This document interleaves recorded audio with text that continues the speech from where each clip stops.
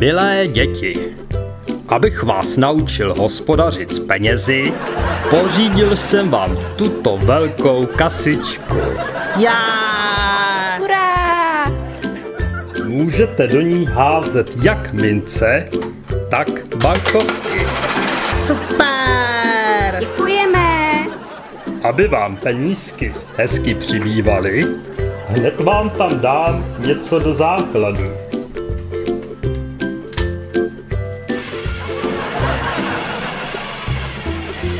Ne, pozor! Tati, to je skartovačka.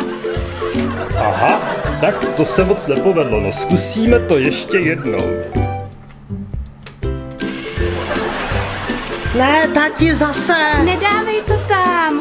Je! Ha, ha, ha, to jsem vás nachytal. Vypadá to jako drtička, ale není to drtička. Je to opravdu kasička. A mým penězům se vůbec nic nestalo. Je, děkujeme, tak to je dobrý, Super!